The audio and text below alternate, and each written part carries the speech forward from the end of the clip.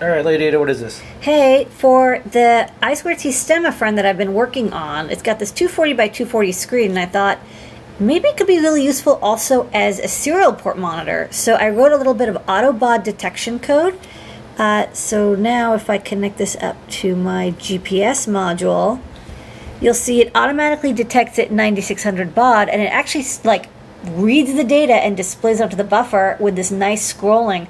Um, the scrolling is harder than it seems. I have to actually make a frame buffer for the entire display and then blit it out constantly. It's about like uh, 20 frames per second.